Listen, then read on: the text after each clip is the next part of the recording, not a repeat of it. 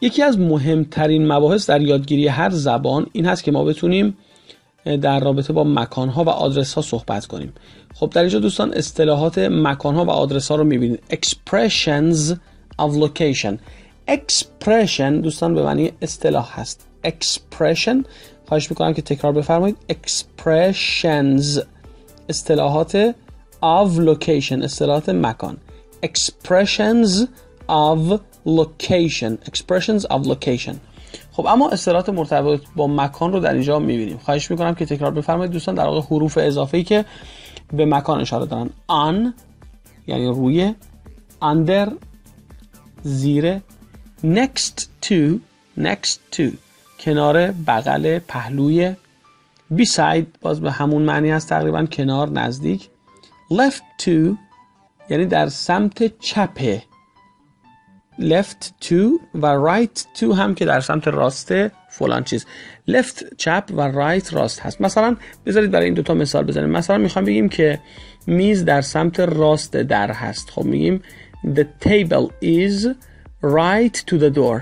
Right to the door یعنی در سمت راست در. یا اگه مثلا بگیم که the table is left to the window.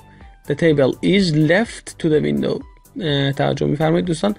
یعنی میز سمت چپ ویندو یعنی همون پنجره هست. اما اصطلاح بعد in front of روبرو هست. in front of روبرو. across from باز به معنی همون مقابل و روبرو هست. پس در واقع میشه in front of و across from رو به جای هم استفاده کرد. به معنی مقابل روبرو جلو. اما کلمه بعد behind.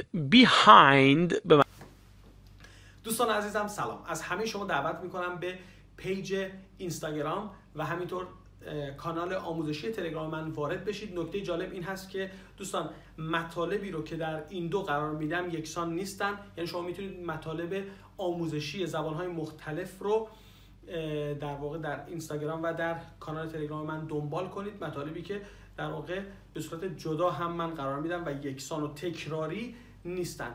اما عنوان هر دو اینها یکیه. یعنی هم اینستاگرام و هم تلگرام من علی کیان پور 1987 هست و و به جز این دو هیچ پیج دیگه ای بنده دوستان ندارم. نه در اینستاگرام و نه در تلگرام.